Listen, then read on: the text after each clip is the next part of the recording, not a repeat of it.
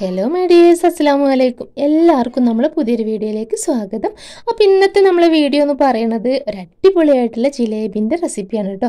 അപ്പോൾ ഇത് ശർക്കര മിഠായിയാണ് നമ്മൾ ഉണ്ടാക്കാൻ പോണത്. അപ്പോൾ ഇതിന് പല പേരും ഉണ്ട് പൂരമിഠായി അതുപോലെ തന്നെ മുട്ടായി അപ്പം ചക്കര മിഠായി അങ്ങനെ പല പേരും പറയുന്നുണ്ട്. അപ്പോൾ എന്തായാലും നമ്മളിവിടെയൊക്കെ ശർക്കര മിഠായി തന്നെയാണ് പറയുന്നത്.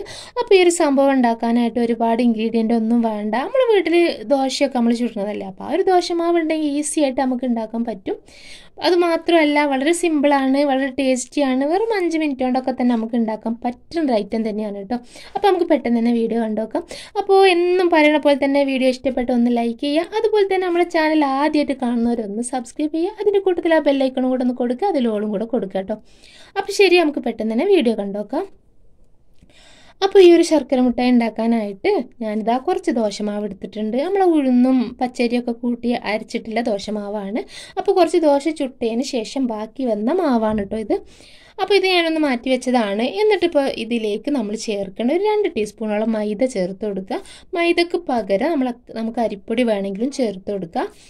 ഈ ഒരു മൈദ ചേർത്ത് കൊടുത്താൽ ഒന്നും കൂടെ നമ്മളെ മാവ് തിക്കായിട്ട് കിട്ടും. പിന്നെ അത് മാത്രമല്ല എണ്ണ കുടിക്കൊന്നുമില്ല കേട്ടോ. അതിന് വേണ്ടിയിട്ടാണ് നമ്മൾ ഈ ഒരു പൊടി ചേർത്ത് കൊടുക്കുന്നത്.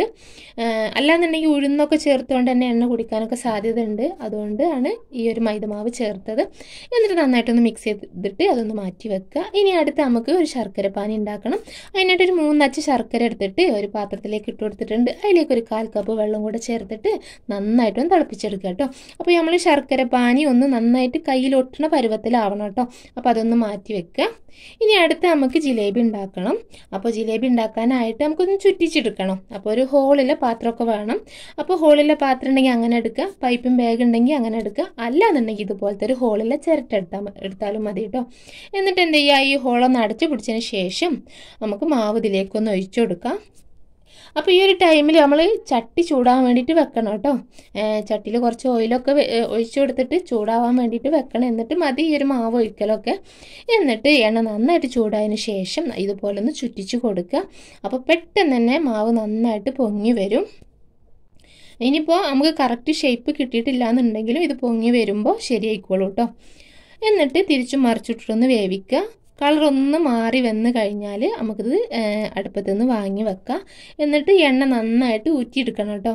പിന്നെ ഒരുപാട് നേരമൊന്നും വെക്കേണ്ട ആവശ്യമില്ല. ഇതുപോലെ ഒന്ന് കളർ മാറിയാൽ മതി. എന്നിട്ട് നമ്മൾ ചൂടായിട്ടുള്ള ശർക്കര പാനിക്ക് ഇട്ട് കൊടുക്കുക. ശർക്കര പാനിയിൽ ഇട്ടതിന് ശേഷം ഒരു രണ്ടോ മൂന്നോ മിനിറ്റ് നേരം നമ്മൾ വെയിറ്റ് ചെയ്യണം.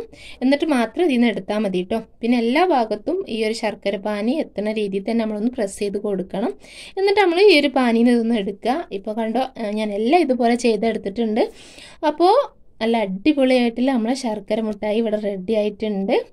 സൂപ്പർ ടേസ്റ്റാണ് ഇട്ടത് നല്ല ക്രിസ്പിയാണ് അപ്പോൾ എല്ലാവരും ഒന്ന് ട്രൈ ചെയ്ത് നോക്കുക. എന്താ പറയുക നല്ല ടേസ്റ്റ് തന്നെ ഉണ്ട്. അപ്പോൾ നിങ്ങൾ മറക്കാതെ ഒന്ന് ട്രൈ ചെയ്യുക കേട്ടോ. അതുപോലെ തന്നെ നിങ്ങൾക്ക് വീഡിയോ ഇഷ്ടപ്പെട്ടാൽ ലൈക്ക് ചെയ്യുക.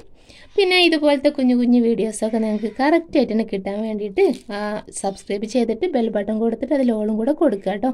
പിന്നെ ഇത് മാക്സിമം നിങ്ങളൊന്ന് ഷെയർ ചെയ്ത് കൊടുക്കുക ഫ്രണ്ട്സിനൊക്കെ ഒന്ന് ഷെയർ ചെയ്ത് കൊടുക്കുക. അതുപോലെ തന്നെ നിങ്ങൾ ട്രൈ ചെയ്ത് നോക്കിയിട്ട് ഫീഡ്ബാക്ക് ഒന്ന് അറിയിക്കുക കേട്ടോ മറക്കരുത് കേട്ടോ. അപ്പോൾ ശരി അടുത്തൊരു വീഡിയോ ആയിട്ട് നമുക്ക് വീണ്ടും കാണാം. എല്ലാവരും ഹാപ്പി ആയിട്ടിരിക്കുക. എല്ലാവർക്കും നല്ലൊരു ദിവസം ആശംസിക്കുകയാണ് പ്രാർത്ഥിക്കുകയാണ്. താങ്ക്